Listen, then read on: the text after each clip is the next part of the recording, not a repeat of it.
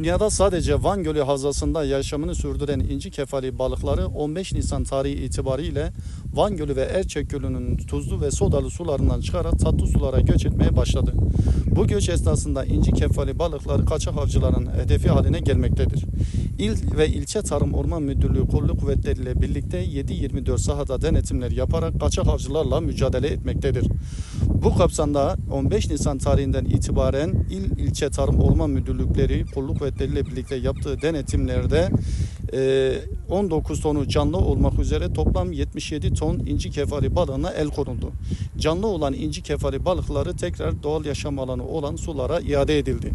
Ayrıca kaçak avcılık yapan 185 şahsa da yaklaşık 2 milyon 250 bin TL idari para cezası uygulandı.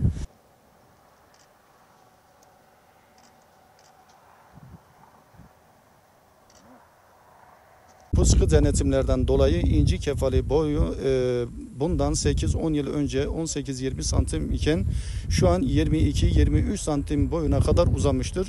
Bu da yapılan denetimlerin ne kadar faydalı olduğunu bize göstermektedir.